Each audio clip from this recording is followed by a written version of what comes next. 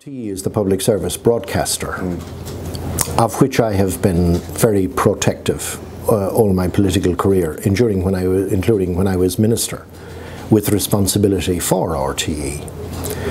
Uh, it, it, gets about 200 million of uh, taxpayers' money through the license fee that the journal doesn't get, or the independent group doesn't get, or Newstalk doesn't get. And in return for that, there are legal objects imposed on RTE in terms of how they discharge their remit.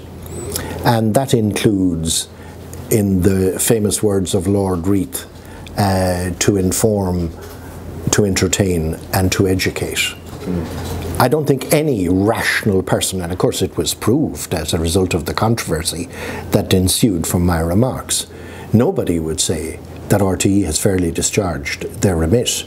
Uh, 18 months later, they still haven't done a programme to explain the dysfunctional nature uh, of the Irish water system in this country, why it is so critical for public health and to attract industry into this country that we ought to have a quality water supply.